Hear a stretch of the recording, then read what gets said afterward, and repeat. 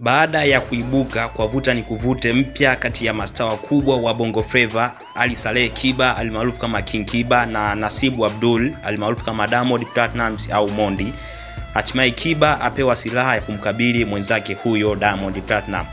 Kiba na Mondi wamekuwa kwenye ushindani mkali kwa kuachia nyimbo zao kali ambazo zimekuwa zikiwasha moto mitaani, kwenye vyombo vya habari na mitandao ya kusikiliza kutazama au kuuza na kununua muziki.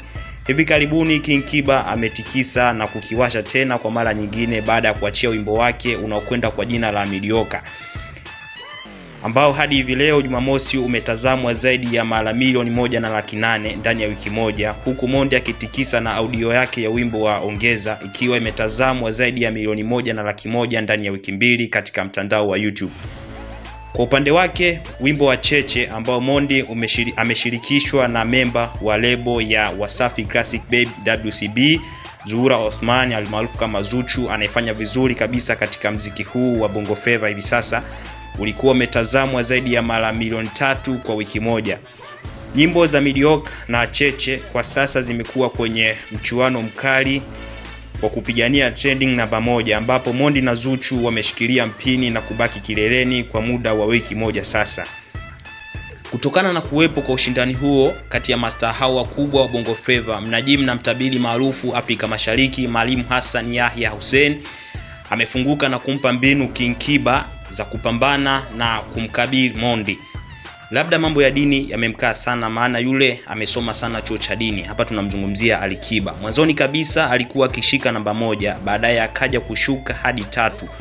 Kwa hilo akizubaa hata huyu msanii mpya ambaye anakuja vizuri kwa sasa, Zuchu naye atamdondosha, alisema Maalim, na kusisitiza kwamba mbali na kushika dini, lakini silaha kubwa kwa Kiba ni kuji, kujiongeza kwa namna nyingine kama anavyofanya Diamond.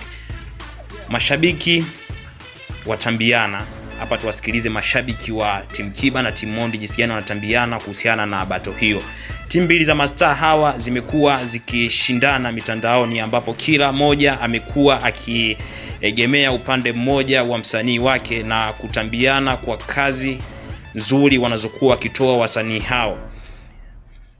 Kiba ni kaka tu na hata akitulia anaachia ngoma, ona alivyotikisa, aliandika shabiki mmoja wa Kiba. Kwa upande mwingine, mashabiki wa Mondi walionyesha kumsapoti na kusema kuwa Kiba ameweka mash, mashairi ya kumsema hasimu wake Diamond Platinum kwenye wimbo huo wa Midioka.